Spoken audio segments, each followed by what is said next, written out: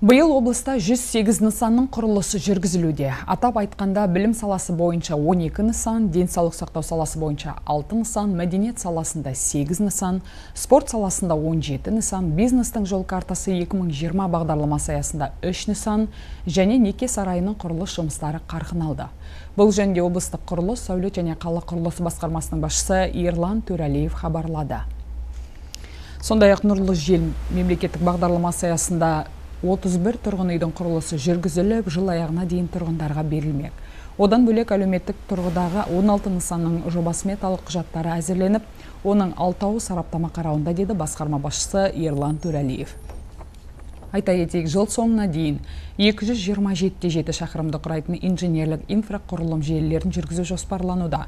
Оның ішінде электр желісі 114 шақырым ауыз су желісі 86 шақырым газ желісі 17 шақырым жылу желісі 9,6 шақырымды құрайды.